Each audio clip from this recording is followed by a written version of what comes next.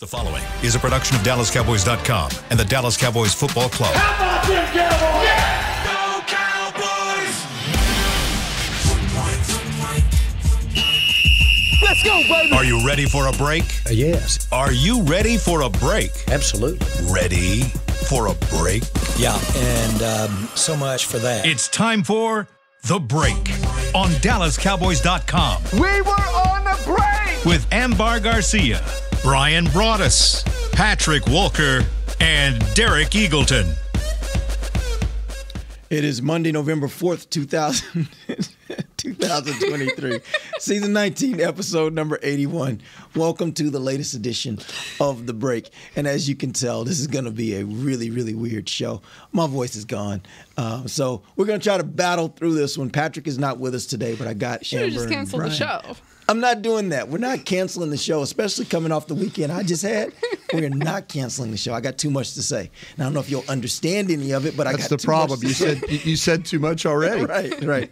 No, I'm going to battle through this thing. And, Yeah. And hopefully we can. Um, hopefully the folks out there can That's understand the what I'm sound, the voice of a great time. A victory. Of That's the sound an of victory. amazing night, When an I- amazing day. weekend, like weekend, like you go back to Thursday, and this has been this has been an epic all-time sports weekend between the Cowboys win in the way that they won it. We talked about that on Friday.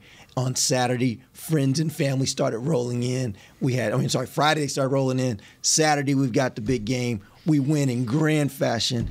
Uh, Sunday we wake up and realize that we've now gotten into the playoff, and then the cap, cap it yesterday afternoon the uh, the Eagles get destroyed by the 49ers. I mean, everything that I wanted to happen this weekend, and by the way, I put two fantasy wins in. So it's like everything I wanted to happen this weekend from a sports standpoint happened, and I earned this voice right now. I earned that this weekend. It's amazing Well, what good for you. alcohol will do to your voice.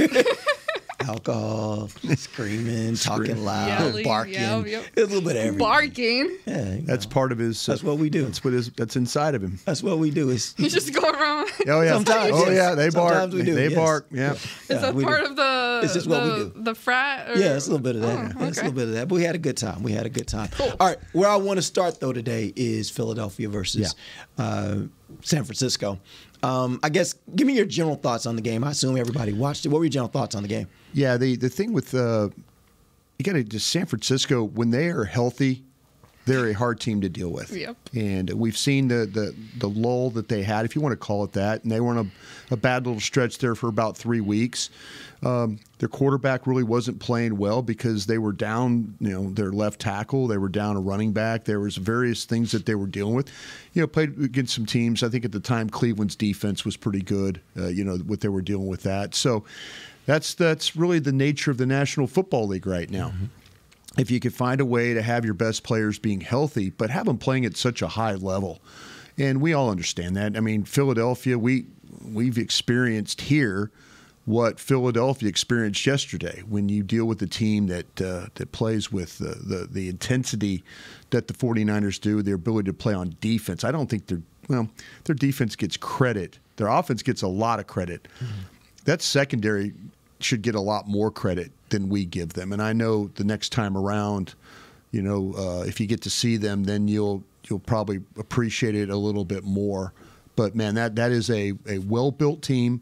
When it's healthy, it's very good to outstanding, and they're very well coached. And so they make it makes it difficult.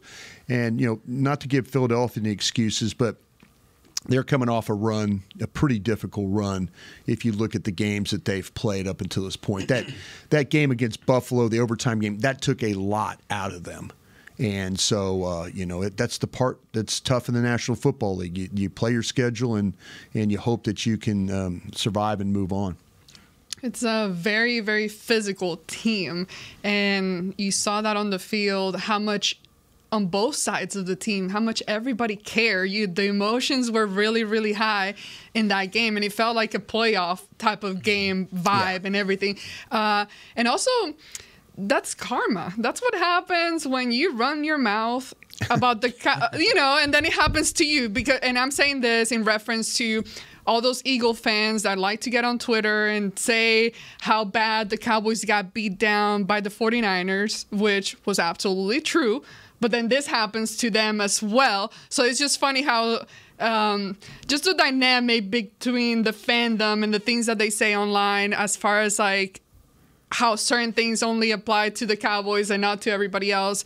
And it, it was it was an entertaining game. Uh, obviously, we're not fans of the 49ers, but definitely wanted them to win rather than than the Eagles. And hopefully, they come to AT&T Stadium a little sh- shook shook after that game because it, it was a tough game for them. So it's gonna be interesting to see how or uh, their energy level and how they show up when they get here for this weekend. That, that was a game. Uh, if we all remember the uh, playoff game last year where Brock Purdy got hurt, after the game, there were a lot of comments from the 49ers that, like, hey, you know, if we'd had our guy playing, you guys wouldn't have won this football game. Mm-hmm. So there was a lot of talk from that 49er side about all the things leading up to if we see you again, this is what we're going to do. They wrote a lot of checks in the offseason. They cashed every one of them yesterday mm-hmm. in that football game. Yeah, you got right now Philadelphia sitting at 10 and 2 and then Cowboys and Detroit both at 9 and 3 with 40 with the 49ers. And the 49ers have now put up 42 points on both the Cowboys Yeah. and the Eagles. Um, is there a team or who is the team that presents the best challenge to San Francisco when you look at Dallas, um, Philadelphia, and Detroit? Hmm. Honestly, I think it comes down to how healthy are the 49ers at that moment because currently Let's assume they're totally healthy. Let's I- assume all their it- guys are there. Eh, I still think I would say Detroit. I would say Detroit. And I say Detroit because I feel like their offensive line is really good. They've got a veteran quarterback that doesn't turn it over very much. I know in the New Orleans game yesterday, there was, you know, it was kind of a, uh, you know, they they got out to a little bit lead and things were kind of falling apart at the end. And but they were, but that's how New Orleans plays. New Orleans has been that way all year. They get, they let you get a lead, their quarterback gets knocked out, and then they rally that kind of thing. I think Detroit is more built, and I think we'll see this when Detroit comes to town. I think Detroit's built more like the 49ers than than any other team. You're, you're going to see something very similar.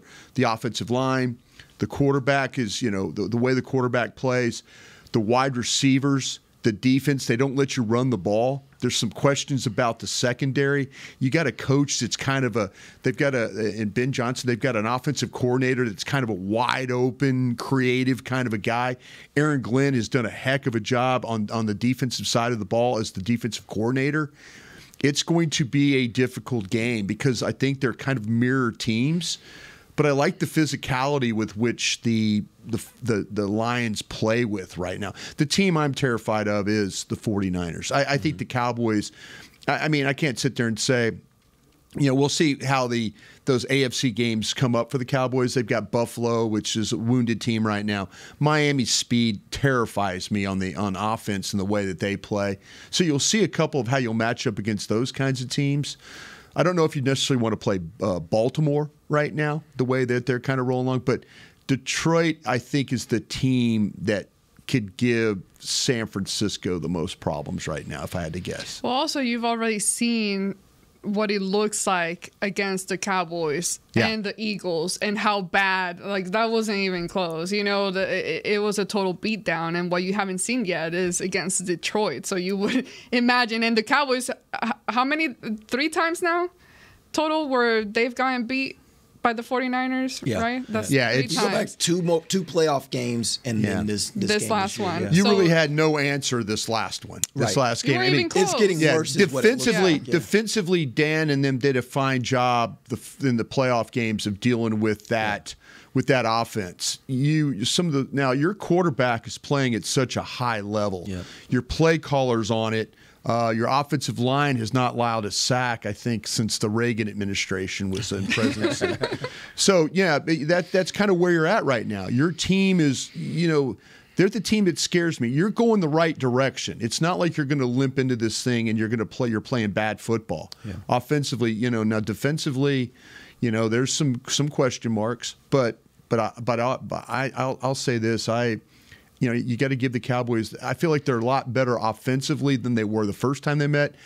I don't know if they're better defensively mm-hmm. the last time that the 49ers and the Cowboys met. Yeah, I you know, maybe if you add Shaq Leonard to that, it might be a little bit different story. Ironically, I think that's what it's ultimately going to come down to: is Dallas's defense good enough to make a couple stops? Yeah. Because if they play the playoff games like what they played last week, when you're playing a playoff caliber team, Right. although right now they're sitting outside the playoffs, Seattle is. The fact of the matter is.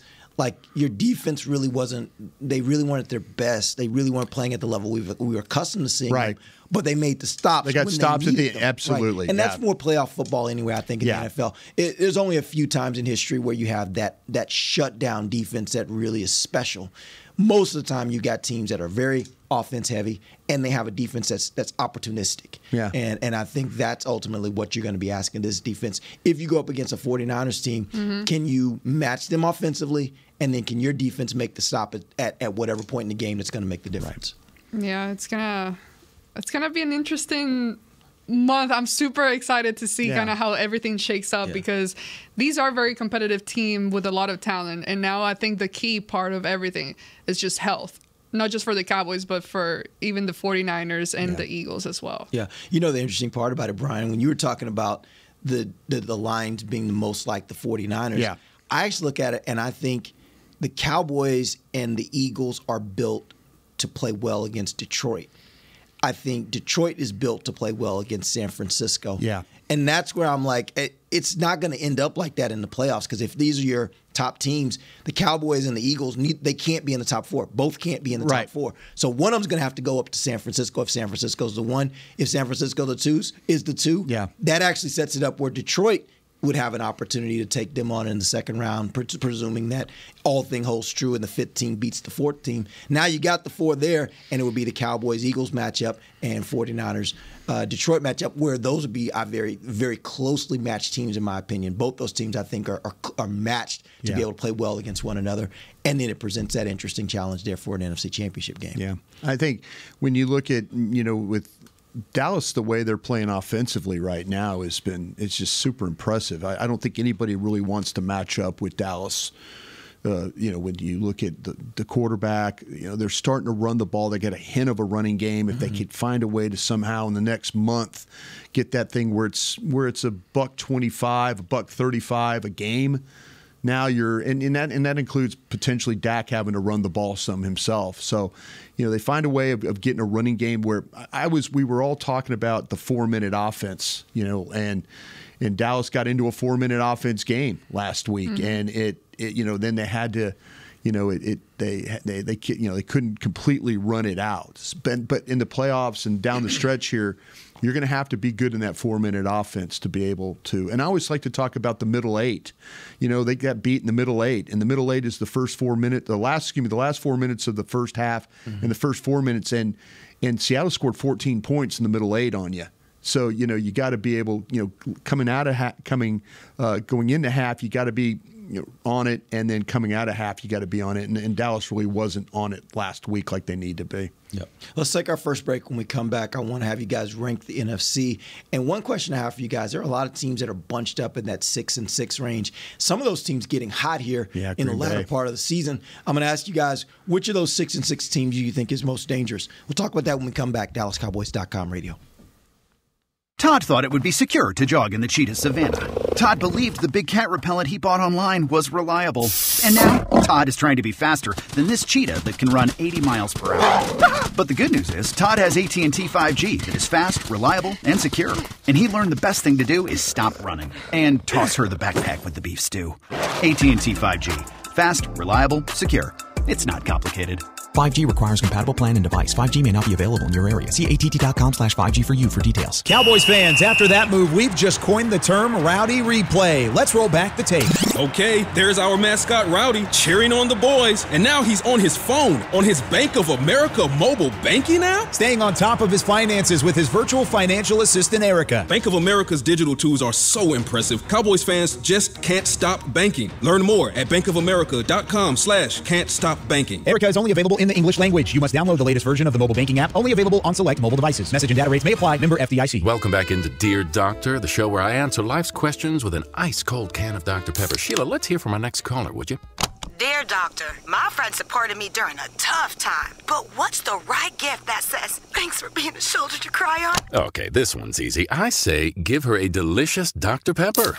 Nothing says, thanks, girl, better than a one of a kind soda. Yes, any Dr. Pepper flavor will do. Now, just a reminder that I don't need to be a real doctor to know that Dr. Pepper is the one you deserve. They say champions are remembered, but legends are never forgotten. United Ag and Turf offers a winning lineup of John Deere equipment built to tackle any challenge on and off the field. Legendary John Deere tractors, combines, residential mowers, commercial mowers, compact construction equipment, Gator utility vehicles, and a full line of golf and sports turf equipment. United Ag and Turf, the official Ag and Turf equipment supplier of the Dallas Cowboys. Visit unitedagandturf.com to find a location near you. Back to the break.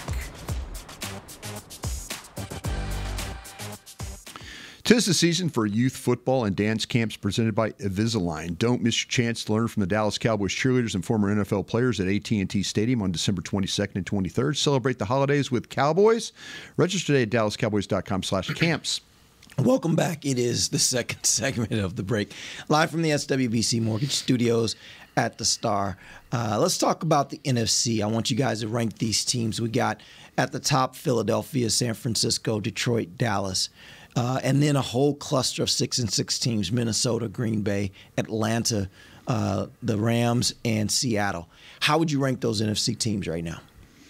You know, I was just looking at something. I think the Packers are playing really, really well right Yeah. now. And you know, if you look at their on a three, Love. they're on a three-game winning streak. I think they've beaten the Chargers, the Lions in Detroit, and then they also beat the Chiefs. And so, That's and heavy, then yeah. and then the remaining schedule, I think they've got Giants, Tampa Bay, a Bears on there.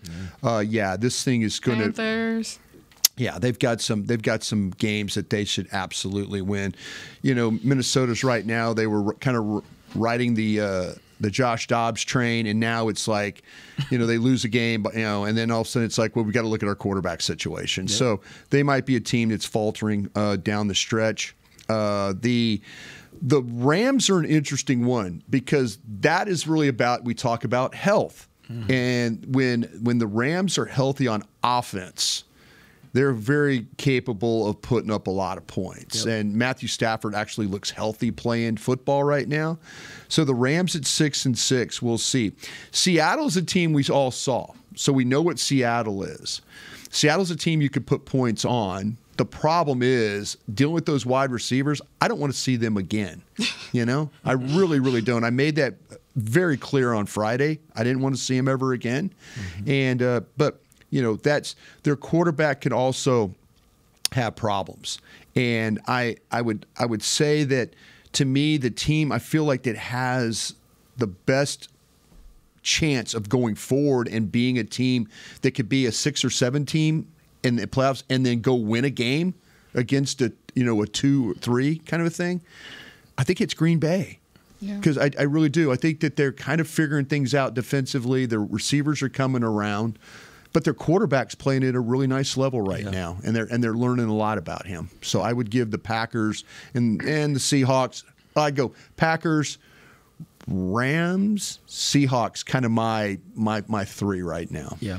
Yeah, I think I mean with the Packers, you see them trending upwards, and you see the teams that they have faced uh, in the last few weeks Yeah. and that they beat. So that's impressive, and, and you gotta start keeping an eye on them. But you talk about teams like Seattle, the Rams, teams like it, they just don't have the consistency. They there are teams that they have talented players. You see them be competitive, but it's just like one of those tops. You toss the coin, and it's like, okay, which team is gonna show up? Um, how are they gonna perform today?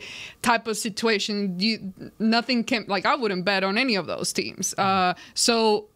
Not that we can't do any betting, but We don't bet uh. No, we do not against the law. Yeah. um, no, but it's it's impressive, honestly, to see the Packers kind of start turning things around, and especially it's still hard to see a Packers team without Aaron Rodgers Yeah. and just see them be successful. So it's it's interesting and, and impressive some of the things that they've been able to accomplish here in the last few months, uh, Yeah. last month. I like what I'm seeing from Green Bay, but the fact is, if I'm looking at the playoffs, I still would put the Rams and the Seahawks ahead of them Mm-hmm. as a dangerous team because of the veteran presence on those two Sure. teams. I mean, you got, I mean, with the Rams, you got those guys. They got a, they got a, several of their their leaders that were there when they won the Super Bowl. Yeah. So they know how to play that playoff football, right? And I think you know the Packers right now they're kind of surprising people, kind of jumping up. You get to the playoffs, it's a whole different ball game. Oh, it is. And. So and so I, I still would, if I'm having to, to just, as you said, bet on it, I would say I'm more concerned about, I would be more concerned about the Rams and the Seahawks because they're veteran. There's a veteran presence there Yeah. that will understand the playoffs a little bit better uh, than, than the Packers. But I agree with you. I think the Packers are playing as well as anybody right Yeah, now. Yeah, the Rams, if you look at the remaining schedule, there's probably a couple of games they're going to lose. They're at the Ravens this weekend, and then they finish up with San Francisco at San Francisco. And, and they traditionally play the 49ers pretty well. Yep. Uh, and so, you know, that that's something to kind of keep an eye on, as we like to say. Uh, but I. And I- look at Seattle's schedule the next few games Yeah. 49ers, Eagles, uh, and then the Titans, Steelers, and then Cardinals. But those Yeah. next these next two games for them, those are tough games. Yeah, the, the thing about it is like yeah, it, it's it's just a matter of you know can you find ways to win those games or you know that that's the thing. You're you're uh, along the way you're going to win some games that you probably shouldn't, and you're going to lose a couple that you probably shouldn't either. So you know that's where we're at. Right, I, I never would have believed that. That Arizona could have gone into Pittsburgh and won a game yesterday, Yeah. but they did with all the weather delays and things that they had yesterday. You know that that's that's a really real. There's some bad losses, and Arizona is usually involved with your bad loss. You know, if you're one of those teams like Pittsburgh, Dallas, kind of have a, a shared of the, yeah, that was a bad loss deal right there. One of the tough things is that uh, the Atlanta Falcons Yeah. or somebody from the NFC South is going to take a spot from one of these other teams because I don't think I don't think I don't think there's a team in the NFC South uh, that is as good as the top probably eight teams, seven, eight teams in the uh, NFC. Yeah. Uh, but but they're going to have to have a spot obviously because they're going to have a division winner. Who do you think right now is in line to be that division winner? I think it's probably going to be Atlanta myself. Uh, I, but the, the thing with the thing that makes Atlanta hard to deal with is they're really not very good on offense. I don't think. Yeah. You know, if you just believe in metrics and statistics and things like that, you know, they really really struggle in the passing game. And you know, but they they, they want to try and run the football. That's their. That's if you're if you're a team that are playing them you have to worry about their ground game. Yep. Because they will they they they they're top three in attempts, they're top six or seven in yards. And so if you know you're going to get a heavy dose of them running the football at you, they're going to try and make the game ugly and all that uh, to deal with. But defensively, they're kind of mid pack. You know, but I just think that they're better. To, to me, the Saints are a some weeks they find it, other weeks they, they the Saints never can get a lead in a game and then be able to. It always seems like they're playing from behind, and they turn the ball over at an alarming rate. So I feel like that's why Atlanta will probably win. Yeah. Well, neither team, uh, the Falcons or the Bucks, offensively, they're not good at scoring. Like Yeah. they cannot score many, many points, Yeah. and and that's gonna be a problem. At some point, you got to figure out how to get it in the end zone and start uh, summing up some points. But right now, out of the two, I would say I would agree with the Falcons, uh, and also with the schedule that they got coming up, and they're gonna face the Bucks here soon. I think that's a game that the Falcons would end up winning uh, against the Buccaneers, but it's. One of them is gonna make it, but I think they'll. It won't be one of those scenarios where all of a sudden you get surprised and they end up making it to the top. They're gonna be eliminated in the. Well, it's I to Derek's point too. If Let me Atlanta, not say that because you never freaking know in the It- NFL. Yeah, but you're right. No, it's the the thing I'm, uh, Derek said about the young quarterback. If Atlanta makes it with with uh, with their with their young quarterback there, I mean his first time and all that. They, like I said, they're going to lean on. I mean, it is going to be can you stop the run? They are not going to throw a ball in a playoff game. Now, the problem to your point, Ambar, is Dallas can also put a lot of points up on a board, Yep. and that that puts a lot of pressure on you to have to make plays. Yep. And if you can't do that, then Dallas will run you out of the park. And that's really any one of those teams you want to mention in NFC South. I think the one that would, I mean, all of their offenses can tend to be very sporadic. Yeah. Uh, New Orleans, if they get on a roll, they can make, they can score some Sure. points, but they're so erratic and Yeah. they turn the ball over. Tampa Bay, same thing. Like Tampa Bay is a team that's kind of erratic. If you get them on a roll, they got some weapons that can kill you, but Yeah. it, but they're just so erratic you don't know what you're going to do. There get. used to be a, a big, big home field advantage in New Orleans, right? And I don't think it's there anymore. Yeah. I think New Orleans used to have that that ability uh, to kind of hurt you like Seattle used to hurt you with their crowd. And you know, and, and I think that if they have to go, if Dallas has to go to Atlanta, huge crowd base from the east coming that way. If they go to New Orleans, huge crowd base coming. You know, we'll we'll, we'll find a way to get down to New Orleans for that game. So they'll they'll make it difficult. They'll battle either Atlanta's fans or the Saints fans for uh, that stadium for sure. Before we go to break, uh, I, I want to selfishly talk a little bit about college football, and uh, I want to get your opinion on on where do you think the the college football playoff committee got it right. Uh, I think that's kind of the the topic that's dominating football fans around the country. They put in Michigan, Washington, Texas, and Alabama. Yeah. two teams in there, Texas and Alabama, who both have one loss. Florida State Right. did not lose this season. Right. Uh, did they get it right? Well, they might not have got the first team right. If you want to be honest with you, mm-hmm. the, the Washington, I think is. I know Washington has had its moments. Michigan's schedule does nothing for me right now. Yeah. They won the Ohio State game, which is a big win, huge win. It's one of the legendary wins, and, and Jim Harbaugh has done it three times in a row Right, now, which is huge. Which is huge for his because there was a time three, four years ago where Jim Harbaugh we were talking about getting rid of him, and now there's circles. The, there's still hearing circles about him leaving Michigan in that program and going to coach the Bears. Mm-hmm. So that just shows you kind of where maybe everything's at Michigan right now. Um, I do I do feel like though that. Uh, I do feel terrible for Florida State, and I feel terrible for the reason why I think they're punishing them for their quarterback not being in the, you know, not being in the in the in the part of the, the game now. And you know, it's it's unfortunate part of the game, the injuries, and they they talk, but they, the schedule that they've played, they've you know they've managed to they play tremendous defense. I mean, mm-hmm. Florida State they you, they turned the ball over. They turned the ball over in that game the other night against Louisville, basically on their own ten yard line, and they get an interception mm-hmm. to stop that. You know, and they they, they they all they've done is all the games that they've played, you know, they've asked these kids to play, keep playing, keep playing, keep playing, next man up, and they keep winning. And I think that you have to respect that at some point in time. Now, it, it, is it is it pretty that, to not have a quarterback and go into the, one of these games? No, it's not. It's not. That you know we've we've seen that bad quarterback play leads to blowout games, and nobody wants the blowout game.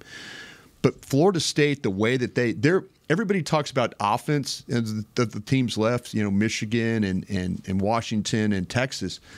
Florida State's defense is capable of stopping any one of those offensive attacks. And Alabama, to me, and I'm not saying this because I'm an LSU guy, I have the utmost respect for Alabama, but they they're they were a fourth and 31 away from not being in this thing at all. Just you know, and, and you and you want to talk about and you want to talk about the eye test and all that stuff. Hey, they won.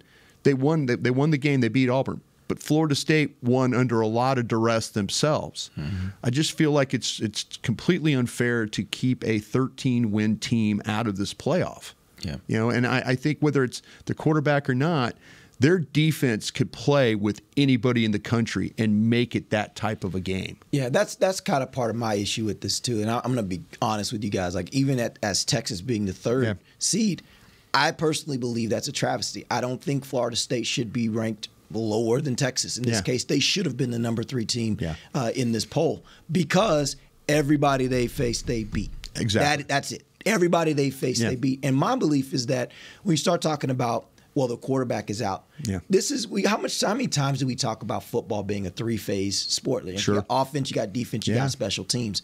Really good teams. Really good teams know how to even if one phase lacks, they know how to bring it up another notch. Right. And that's exactly what we've seen them do. That Louisville team has a good offense. They do. They shut them down. They completely that did. defense is legit. And and my problem is they should have had the ability and the opportunity to be able to go out there and say, yeah, we don't have our starting quarterback, but our defense may still be good enough, Yeah. like as you said, to stop all those other offenses. Yeah. And if we can do that and manufacture some points as they did in the Louisville game, Yeah. we could win some games. They gave up. They gave up a block punt and didn't give up. I mean, it's it's amazing the things that happened to Florida State in that game, and their defense would not allow them to lose that game. Yeah. They, you know, and and really they tried to they tried to coach around the quarterback.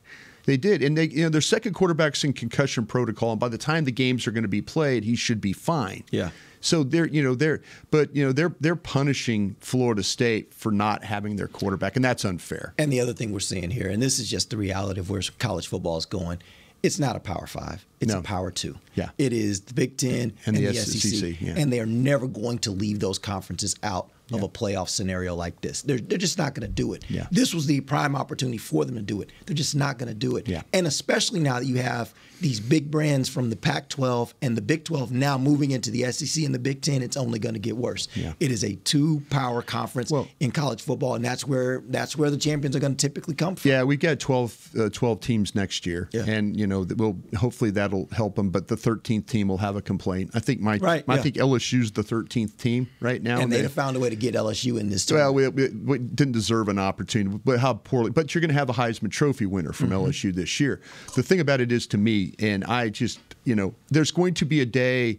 And Derek, you know this because of your background in media, is that there's going to be a day where we have 40 college football teams playing, and they're going to play each other, and it's going to be just for TV. Yeah. It's going to be a TV-driven league where number number two Texas plays number 14 LSU, Mm-hmm. and it's going to be those teams playing, and they're going to control all the television. It's about inventory, and they're going to have the best inventory, and that's how they're going to sell these packages. Yeah. You know, and maybe teams 39 and 40 get relegated. If you're not good enough, then you get relegated, and we bring two more teams into the mix. but that's going to be college football. It's going to be college football, but and, yeah, we're going to have 40 teams playing each other every single One week, league. And it's going to be billions of dollars involved. I, I think that at the at the least there's going to be two conferences, but I think it's going to all consolidate Yeah. to where you're right. You're going to have the best teams in this super conference Yeah. or these two super conferences, and that's where all the games are going to be And played. it's gonna ultimately fund- the championship's going to come from there. it's going to fund all the other sports that are involved in those athletic programs too.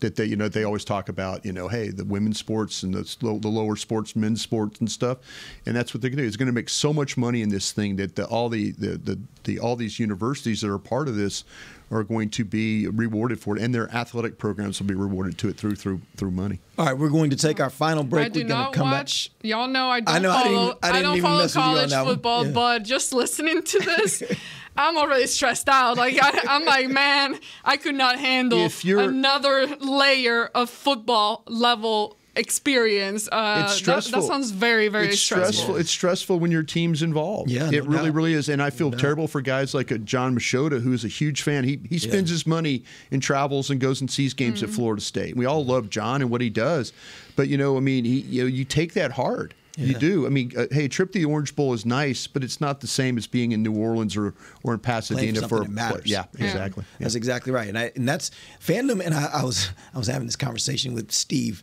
uh, Dennis my On buddy, Twitter, yeah. on Twitter, Yeah. and and the fact Ohio is he State was trying guy. to make yeah he was trying to make the difference between an alum and a fan, and I'm like, no man, fandom is hard. It is hard. Like, if you're a real fan, you don't just pick up and leave because your team's losing. Yeah. You go through it. And when you go through it, you go through it for however however long Oh, it yeah. takes so you can get back to that moment of glory because those moments of winning are worth all of the bad stuff you deal with oh, over the years. So Oh, Yeah. it, that fandom fandom is hard, man. It is It's very hard. Gosh. And I don't I don't ever I deal with enough stress with the Cowboys. right. It, Oh my it's hard, especially when you got NFL and you got college teams. Saturday Like, and you can be both. Oh it's my a lot. gosh. It's a lot. But in moments like this, as you can tell from my Yeah. voice, man, it's so great when oh, your team actually wins. It's so great. All right, we're gonna take our final break. We'll come back. Ambar has some questions that she's gotten from you guys. We'll get to those in just a moment. This is DallasCowboys.com radio.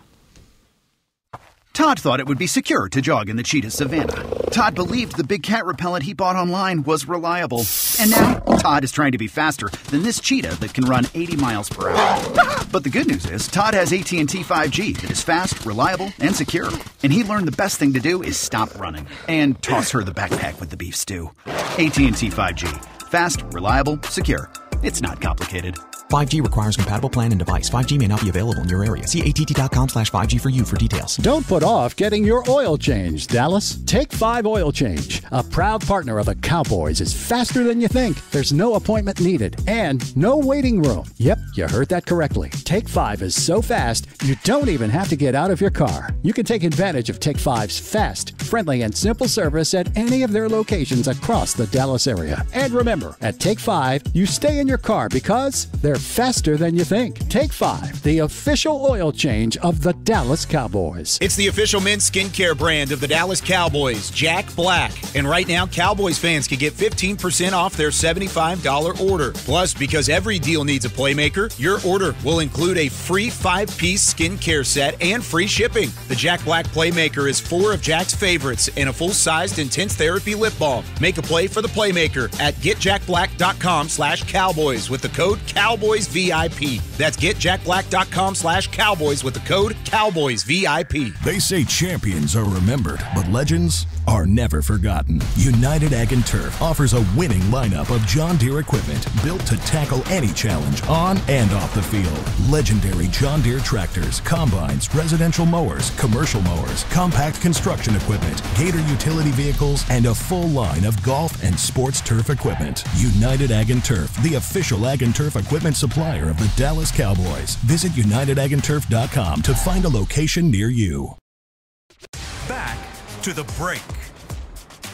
Experience the most electrifying event of the holiday season, the Cowboys Christmas Extravaganza, powered by Reliant. Every Friday and Saturday night through December 16th, the Cowboys Christmas Extravaganza ignites the star in Frisco with an unforgettable holiday performance showcasing, showcasing 65 performers, including the world renowned Dallas Cowboys cheerleaders, Santa Claus, and appearance from your favorite Dallas Cowboy football heroes. Visit thestardistrict.com for more info. Welcome back to the final segment of the break live from the SWBC Mortgage Studios at the Star. The segment brought to you by blockchain.com. And now I'm going to do what I should have done at the beginning of the show. I'm going to hand it over to Ambar. Let's go. All right, one of the questions I've been seeing a lot. Uh, any updates on Shaq? And I know people are waiting on this. I asked this morning, and uh, they're still waiting. So there were there was thought that maybe, in talking to some folks in the front office, they thought maybe they would get an answer on Sunday, mm-hmm. and then it got pushed to Monday. And as of say 10:30 this morning, they were still waiting. Uh, and as we thought, Shaq Leonard is driving this decision. Ultimately, yeah. he'll yeah. decide what team he wants. This is a recruiting type situation. Yeah. He'll decide which of those teams he wants to be on, and, and that'll be how it works. And I'm out. assuming it should happen very I think today, soon. I think today very you'll get soon. today you'll get an answer. Yeah, today you'll get an answer. Yeah. Um, what helps the Cowboys down the stretch with these tough games coming up? Red zone efficiency woes disappear, or defensive penalties go down significantly? That's a really great question. Who answered that? Do you have an who asked that question? Um, here we go. is, that all it said? like it. Okay. Well, it's at our Argo Alex 52. Okay, yeah. I'm sorry. Great. And Twitter, nobody has their real name except us, right? We, yeah. we, we, put our names out there on the right. line every day. And uh, pictures. Yeah. The, the, the thing about it is, I, I, I do think the penalties are a problem. I, I really do. And, mm-hmm. and I mm-hmm. know Dallas, to me, there's times where they can overcome things that happen to them in the red zone as long as they don't turn the ball over, and they could get penalties down there and, stuff, and they kind of figure it all out.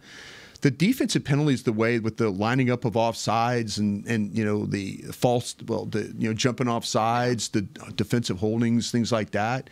You know those penalties. I mean, we haven't seen any you know Sam Williams roughing the passer penalties or hands to the face here lately. But yeah, I think that some of these defensive penalties, the DPI penalties were big the other day. Defensive pass interference penalties were big.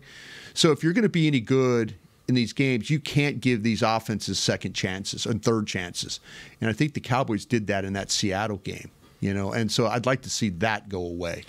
Yeah, I, I, I was trying to pull it up. I couldn't get it up quickly enough to see, but um, the the red zone efficiency seems to be a problem in, in especially in the games that they've lost this year, yeah. and then it creeped back up here against Seattle. They were only fifty percent in yeah. the red zone, only fifty percent, and this is the bigger one, only fifty percent in goal to go situations. Yeah, that's a problem uh, because when you get into the playoffs, you're going to need those points, score. especially mm-hmm. when you're dealing with the likes of Philadelphia, with the likes of San Francisco, with the likes of Detroit. You're going to have to score, and uh, and so I, although I think the penalties are a problem, I think the red zone is an even bigger problem just because, and and, and it's like the red zone isn't the problem itself. It's emblematic of other things. It's emblematic of the fact that you can't consistently run the ball. That's Yeah. really what Oh, the yeah. problem Yeah. is. And so you get down the red zone, you have compact field, and you can't effectively run the ball. You get in goal to go situations.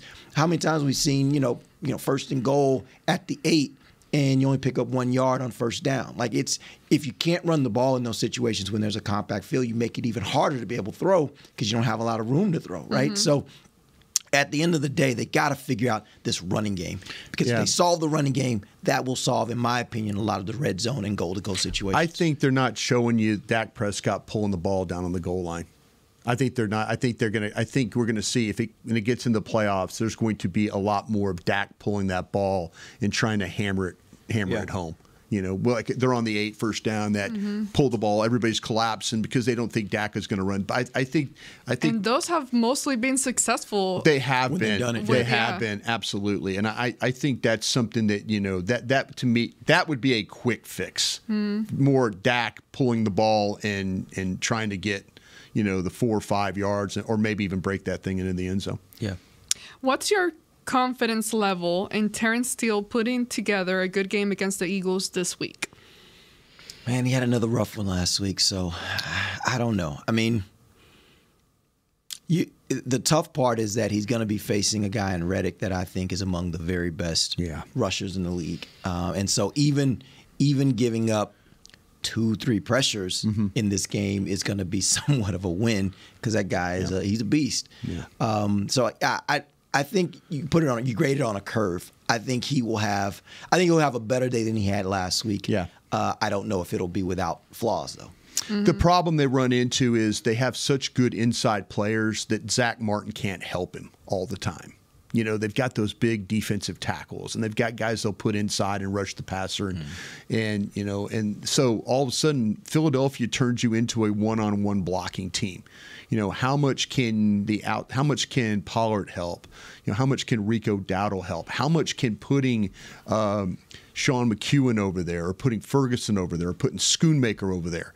You know, you've got to find ways to widen him away from the ball, make him have to deal with a, a, full man, two gaps away from being. If you put him right on the shoulder of Steele, that's a that's a quicker path to the quarterback. Move him out a whole player, another whole two gaps.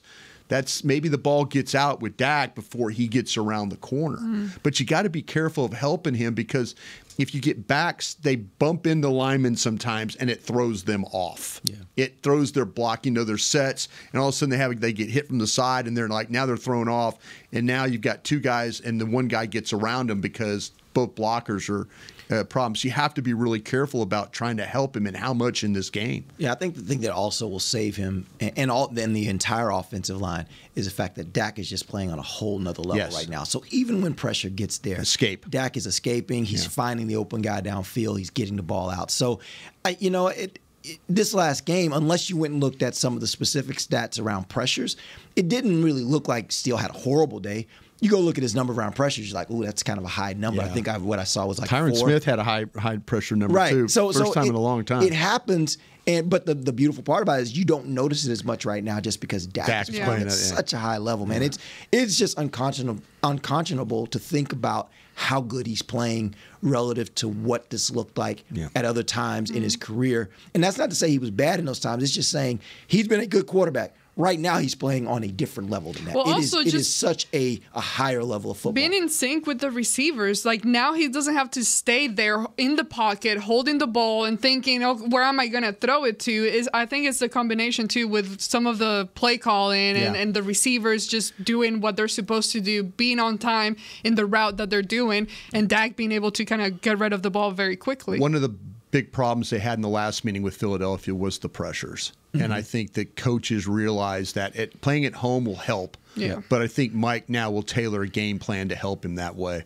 I think this is a very, very different team than when they faced the Yeah, Eagles absolute- last time. absolute. So I'm so pumped for this weekend. Clearly at home, they're a different team. Oh yeah, No doubt. Um, last question, real quick: Can the Cowboys apply next Sunday some of the concepts that San Francisco used to dismantle Mm. the Eagles, mostly on defense?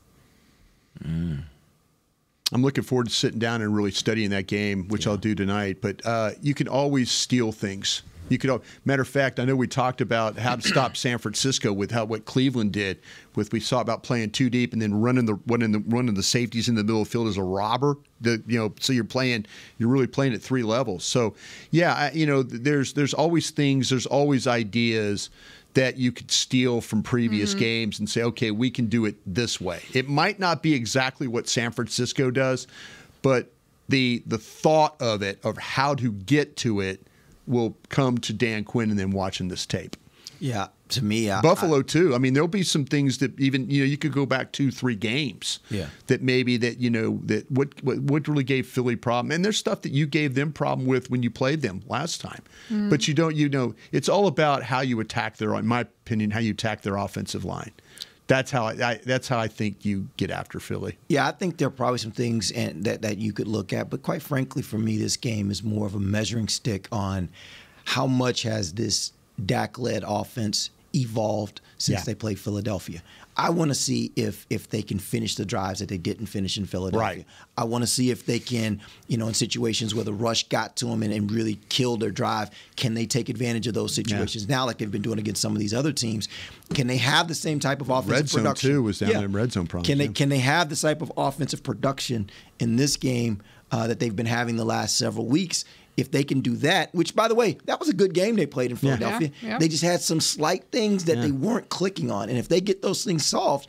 I don't know they have to do something different. I just think they got to be better than they were in Mhm. Philadelphia, and they've been better the last few weeks. Now we'll see if it translates against Philadelphia. Yeah, agree. And uh, oh my God, I can't, I cannot wait. I cannot wait for this weekend and how it's gonna look because again, the Cowboys are so much better than the last time they faced them. They have every like they have more things going to their advantage right now than Philly does at the moment. And when and when they faced them, like you said, it was such a close game. Like it didn't come down to where it wasn't San Francisco and how that looked like Yeah. where they got completely dominated. Yeah. This was such a close game and it came down to the wire. So it's gonna be an, an exciting one for sure.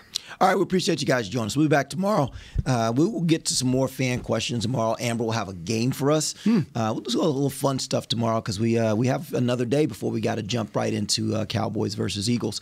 Uh, so until then, for Bryan Broaddus, Ambar Garcia, I'm Derek Eagleton. This has been The Break, live on DallasCowboys.com radio. This has been a production of DallasCowboys.com and the Dallas Cowboys Football Club. How about this, Cowboys? Yeah!